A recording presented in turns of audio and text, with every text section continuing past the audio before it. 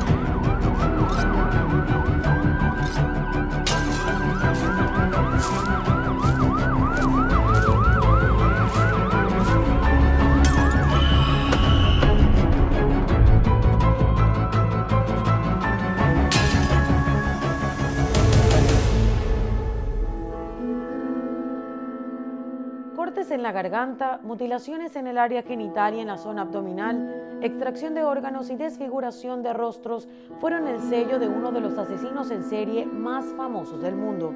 Todas sus víctimas, mujeres, prostitutas de la zona de Whitechapel en Londres, fueron atacadas en medio de la oscuridad en callejones solitarios, y el hombre siempre logró escapar de los pocos posibles testigos. Jack the Ripper o Jack el Destripador, un personaje del que nunca se conoció su verdadera identidad y que con solo cinco homicidios marcó la historia de Londres victoriano en el siglo XIX y también marcó la historia del mundo.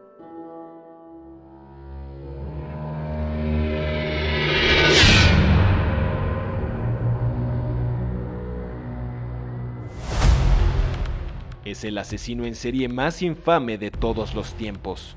Jack el Destripador, el nombre que recibió por el estilo sangriento de quitarle la vida a sus víctimas, sembró el terror en las calles de Londres en el barrio de Whitechapel en 1888. En tan solo tres años, 11 mujeres fueron asesinadas en esa localidad del este de la capital británica, pero de ellas, cinco presentaron la misma marca de autor y por ello fueron atribuidas al mismo asesino. Un sujeto que sabía cómo y dónde atacar a sus presas. Cortes en la garganta, mutilaciones en el área genital y en la zona abdominal, extirpación de órganos y desfiguración de los rostros fueron encontrados en cada una de esas víctimas. Todas ellas prostitutas de la zona. Mary Ann Nichols, Annie Chapman, Elizabeth Stride, Catherine Eddowes y Mary Jane Kelly.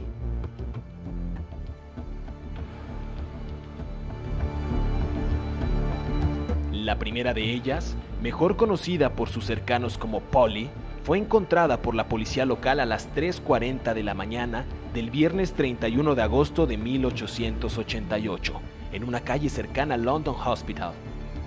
Tenía unos 43 años, era madre de cinco hijos, ya todos adultos, llevaba 8 años separada de su esposo y sufría problemas de alcoholismo.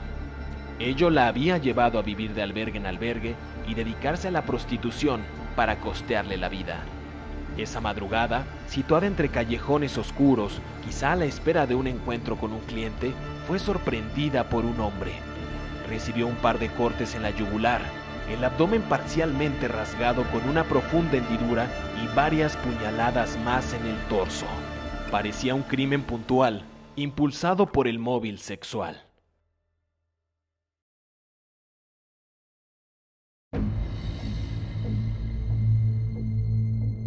Sin embargo, el lugar del crimen empezó a dar las primeras señales sobre lo que pudo haber llevado al sujeto a desatar una ola de ataques. Con los años, psiquiatras forenses han señalado que Jack el Destripador podría haber padecido una enfermedad de transmisión sexual. haberla visto una media hora antes de ser hallada muerta, relató que la mujer se encontraba acompañada de un hombre de unos 40 años de edad, un poco más alto que la víctima, de cabello oscuro y apariencia gentil, pero no pudo revelar más. El cuerpo fue dejado cerca de la entrada del patio interior de la calle Hambury, a menos de un kilómetro de la primera víctima. Chapman además tenía las mismas dos incisiones en la garganta y moretones en la mandíbula. La diferencia entre ellas estaba en el vientre, que luego de un ataque con mucho ensañamiento estaba completamente destruido y le habían extraído el útero, esto como si se tratara de un trofeo. No se encontró rastro alguno de lo extirpado. Los informes forenses indicaron que los cortes eran precisos, limpios y con un arma muy parecida a un bisturí, pero de un tamaño superior. Las investigaciones empezaron a apuntar a un posible médico, quizás a un cirujano, un carnicero, alguien con conocimiento de anatomía o que sabía hacer cortes muy precisos. Empezaron a surgir hipótesis, a buscarse rastros que pudieran dar con el escabroso sujeto que estaba dejando en vilo a toda la ciudad. La prensa comenzaba a tomar parte de la historia, alertando a la capital británica de que podrían estar en presencia de algo más que simples hechos fortuitos. El segundo asesinato en semanas conmocionó a la ciudad y al país entero. Los medios de comunicación se hicieron eco de lo ocurrido y de inmediato surgieron las vinculaciones entre los dos primeros casos. Hasta entonces no se hablaba de asesino en serie, pero sí de asesino de masas. La histeria se apoderó de la gente. Fue el momento de oro de los periodistas. Empezaron a enviarse cartas falsas a las salas de redacción, muchas de ellas de los mismos periodistas que buscaban la forma de darle más tirada a las publicaciones. Una de las misivas, enviada en septiembre, llegó firmada como Jack the Ripper, Jack el Destripador, en referencia a las mutilaciones que infligía en sus víctimas. Nunca se comprobó que esa carta era realmente del asesino, pero sí fue lo que terminó por darle el nombre con el que hasta hoy se le conoce.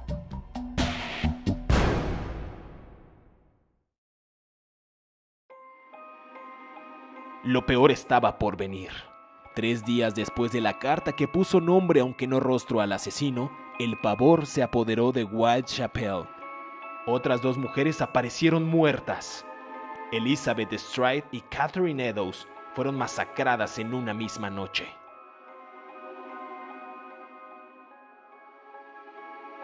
Tras las investigaciones, hay quienes atribuyen que Liz no llegó a ser mutilada, porque un grupo de personas que iba a un club social cercano por poco sorprende al asesino en el acto.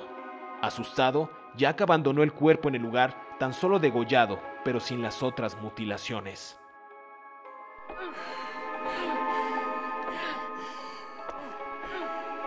La interrupción llevó al hombre a ensañarse, frustrado, con todas sus fuerzas en contra de Catherine una hora después. Eddowes fue degollada, destripada, le extrajeron el riñón y el útero, y por primera vez le destrozaron el rostro con el arma blanca. Jack desapareció muy poco antes de que la policía llegara. Los cuatro terroríficos asesinatos elevaron la presión pública. Ni la policía, ni un grupo de vigilancia de la comunidad de Whitechapel, que se organizó para llevar las investigaciones por sus propios medios, lograban dar con el asesino.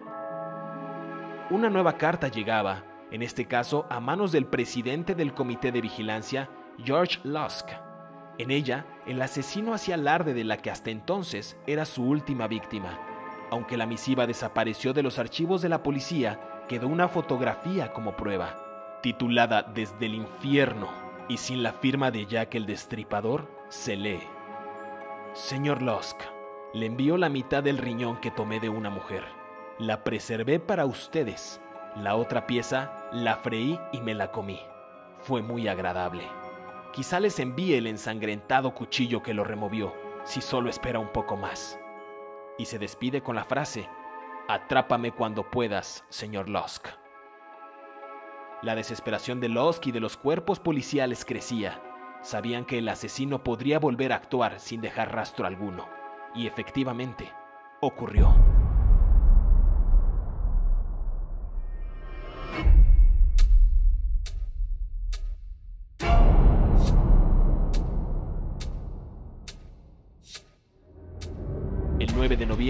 Seis semanas después del doble crimen, la prostituta Mary Jane Kelly, de tan solo 25 años de edad, fue despedazada a cuchillazos en su propia cama.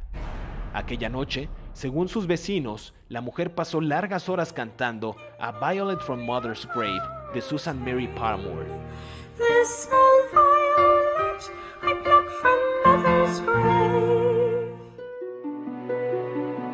Y entrada la noche, a eso de las 2 de la mañana, incluso había sido vista con vida con dos clientes.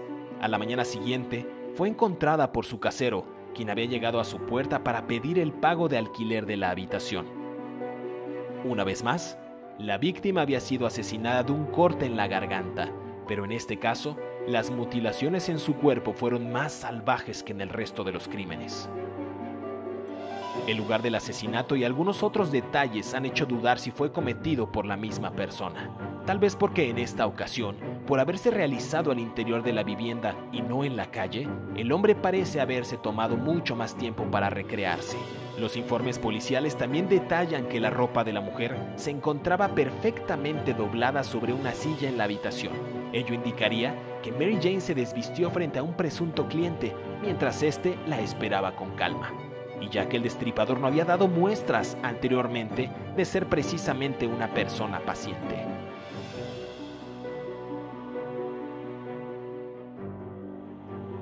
Se le atribuye el quinto caso por lo sangriento del crimen. Los órganos quedaron esparcidos sobre la cama, debajo del cuerpo y sobre la mesa de noche. Pero el corazón, el corazón nunca apareció.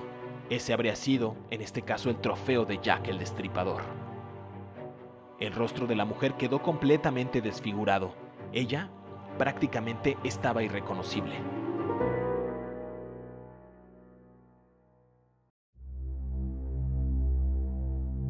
Hubo una sexta víctima, que bien pudo haber sido la primera con la que Jack inició su historia. Su nombre era Martha Tabram, también conocida como Martha Turner, y murió el 6 de agosto a manos de un asesino desconocido. Recibió 39 puñaladas en el abdomen y en el cuello, y su vestido estaba levantado. Luego se comprobó que no hubo relaciones sexuales, por lo que se asumió que el asesino intentó infligir heridas en el área genital. Las similitudes con las otras cinco víctimas son tan evidentes que hay quienes sí la vinculan al destripador.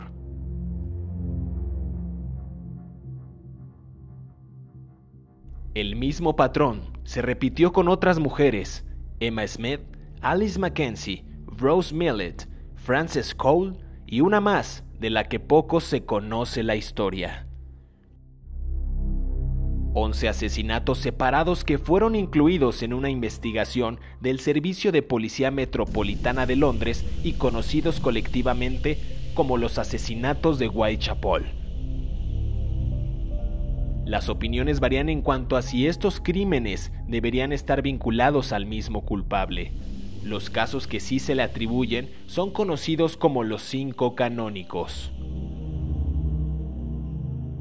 La arremetida del destripador terminó tan abruptamente como comenzó. Nunca se supo por qué se detuvieron los crímenes, si fue detenido pero no vinculado a estos casos, si murió repentinamente por la enfermedad que padecía o si incluso, ya que el destripador abandonó la ciudad o el país por temor a ser capturado. Con el paso de los años, muchos investigadores han abierto los expedientes para intentar dar con la identidad del macabro asesino. Con ello, han surgido decenas de teorías. Algunas apuntaron a los masones, otras, como se dijo antes, a algún médico, a un cirujano, a un carnicero o incluso hubo quienes señalaron a un nieto de la reina Victoria. El príncipe heredero Albert Edwards quien se dice tuvo las más insólitas coartadas para exculpar su presunto vínculo con las muertes. Uno de los sospechosos más famosos es Montage John Truth, un hombre educado, egresado de Oxford, de buena familia, pero que además de vivir y haber sido visto en las fechas en la zona de Whitechapel, algunas personas creían que era sexualmente enfermo. Además, su suicidio coincidió con el fin de los casos, su cuerpo fue hallado flotando en el río Támesis. Otro personaje que permanece entre la lista de sospechosos es Carl Feigenbaum, un marino mercante de 54 años de edad para ese entonces, conocido por ser un verdadero psicópata. Se había declarado culpable de mutilar a unas cuantas mujeres y su propio abogado decía y creía que él era Jack el Destripador. Luego de que Feigenbaum emigrara a América aproximadamente en 1890, fue arrestado y condenado a la silla eléctrica por asesinar a una mujer de nombre Juliana Hoffman. Los expertos consideran que hubo muchas similitudes entre ese asesinato y aquellos perpetrados pocos años antes en Londres. También hay teorías por algunas pocas pistas que dejó Jack y por los lugares en donde se desarrollaron algunos de los asesinatos que era un comerciante judío que padecía una enfermedad que ocasionaba degeneración cerebral, como era el caso de la sífilis. Pero a pesar que los asesinatos han sido examinados una y otra vez, no han logrado dar con el culpable.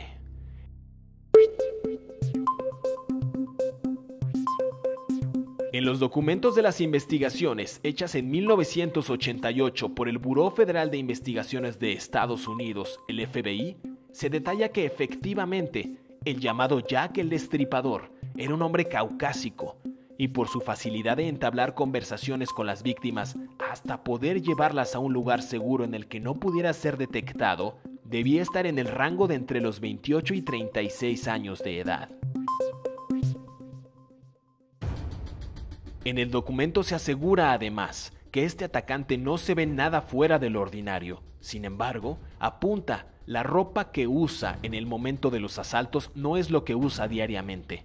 Quiere proyectar a las insospechadas mujeres, a las prostitutas, que tiene dinero. Por ende, esto lo alivia de iniciar cualquier contacto. Según testigos que estiman pudieron haberlo visto, el hombre vestía con un abrigo largo oscuro y una gorra de cazador de ciervos de color marrón.